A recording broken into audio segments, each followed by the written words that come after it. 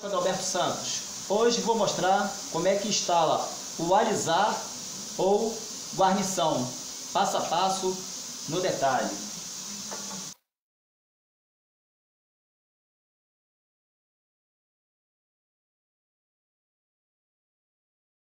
Bem aqui, ó, aqui nesse cantinho aqui, ó,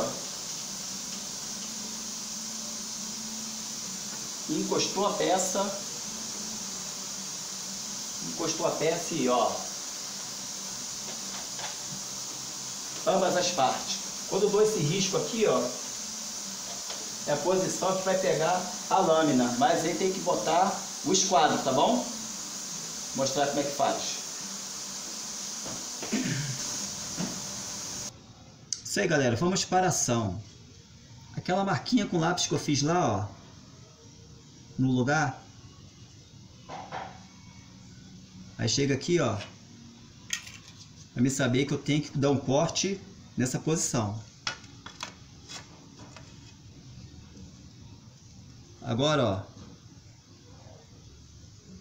certo?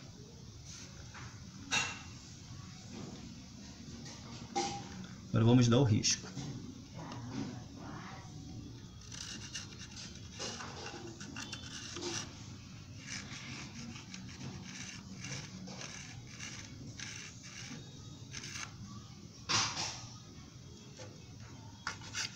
Esquadro, ó.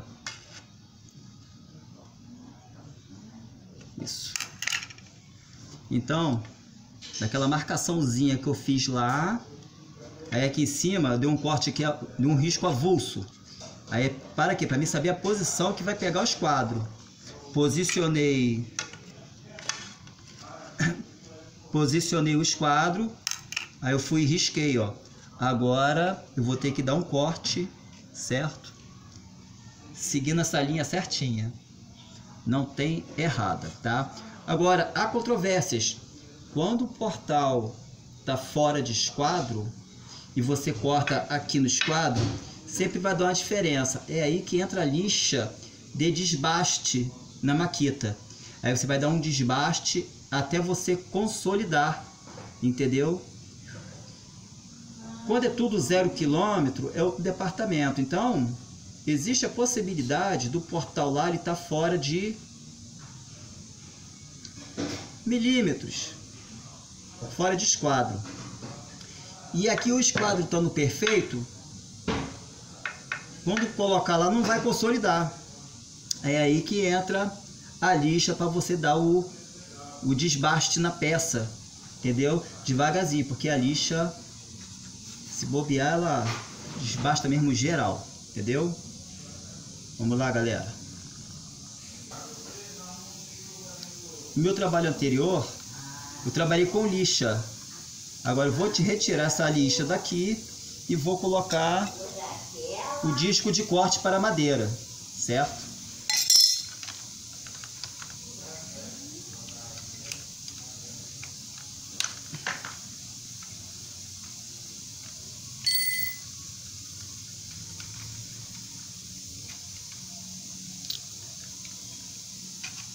Pessoal, a lixa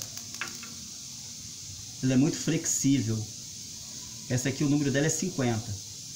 Então você tem que colocar um disco velho aqui embaixo. Você bota um disco velho aqui embaixo, tá?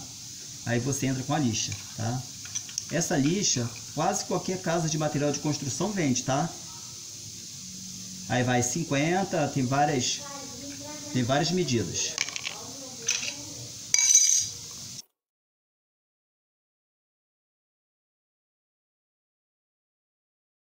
Pessoal, serrote, bem amoladinho, arco de serra, corta isso aqui, tudo bem. Mas já que eu tenho a maquita, preciso de... Aqui tem que ser rápido, entendeu? Aí, vai embora. As máquinas veio para facilitar a nossa vida. Se não tem a máquina na hora, você compra um arquinho de serra e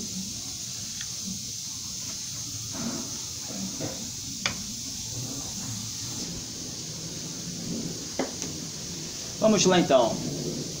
Separei esse, esse cantinho aqui para ser área de corte, tá? Que vou, vou ter que cortar aqui vários alisares aqui. certo?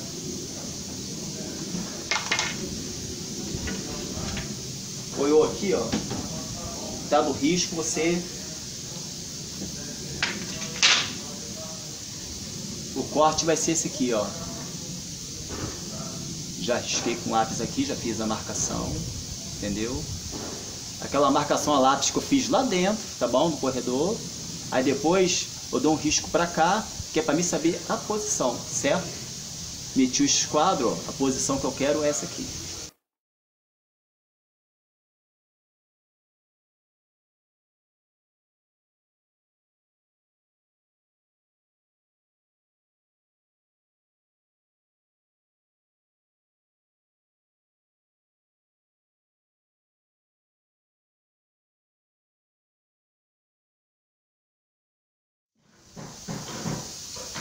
Aqui está o corte, certo?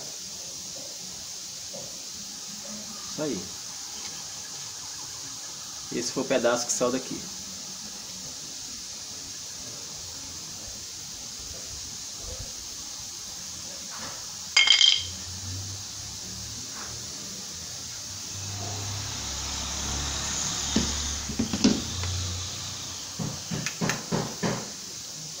Outra marcaçãozinha lápis que eu fiz lá, ó.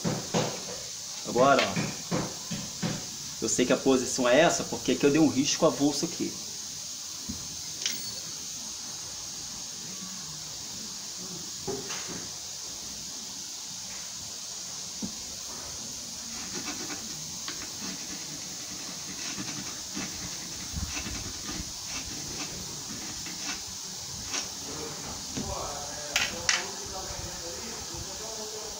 Onde vai ser feito o corte.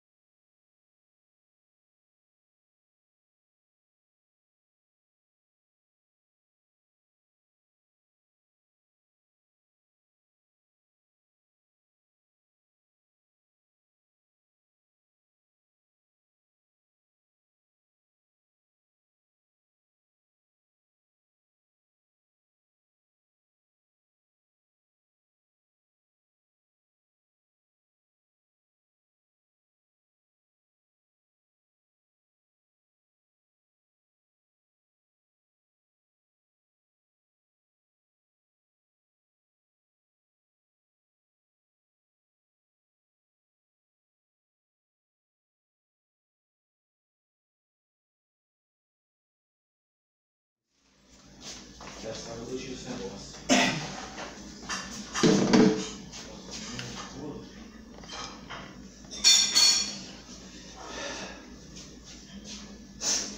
Agora tem uma anomalia, fica no alisar de cima. Aí tem que tirar e dar um desbaste nele para você acertar a pontinha com os alisares dos laterais. Vou mostrar de pertinho.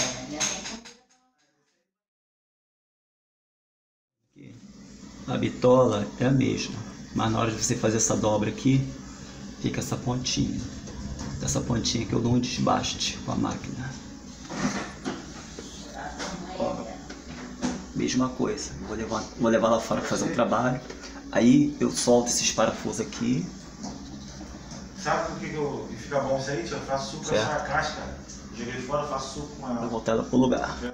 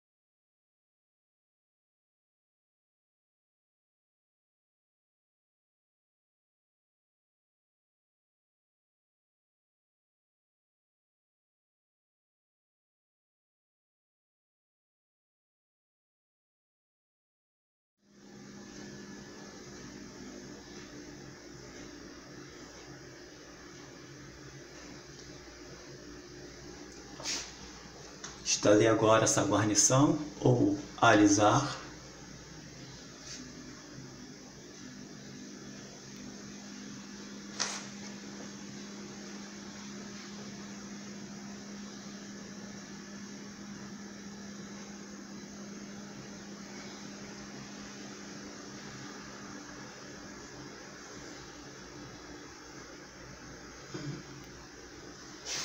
Então, como vemos aqui, ó, entendeu? E detalhe, não adianta eu descarregar esse verniz não, porque aqui embaixo a madeira é canela, a tonalidade, a madeira natural, ela já é escura mesmo, entendeu? Já é escura, eu posso tirar esse verniz que aqui embaixo eu vou encontrar aqui um canela, um pouco abaixo de preto, entendeu?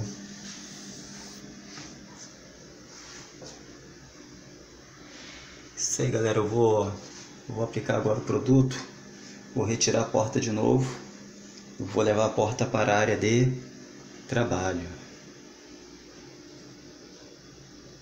Ok.